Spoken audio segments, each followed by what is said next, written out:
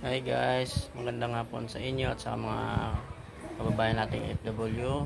Ngayong hapon po may gagawin tayong washing kasama na yung dryer. Ang brand niya ay yan. Hindi ko pa alam kung anong sira nito kasi kanina lang to natin ng customer. A few Ano moments guys, later. baklas na natin. Ito yung sira, maingay. A few moments later. Ito ng ano, pamalit. Ito na pinalitan natin. So, mamaya, try na natin to Ipipix ko lang. Kaya, abang-abang lang kayo guys.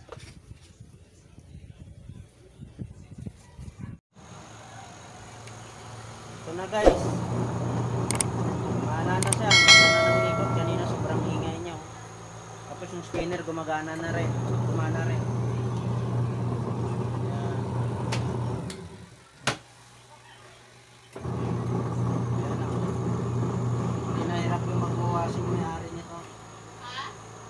Kasi wala pa daw sa budget pang bili. Sabi niya baka magawa ng paraan. Mapagawa, kaya wala pa daw sa pangbili bago.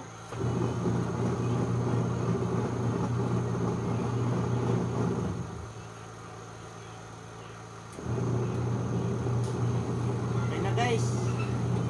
Salamat sa inyong panood. Thank you. Dagang salamat. Arigato. Vamos, rapidos.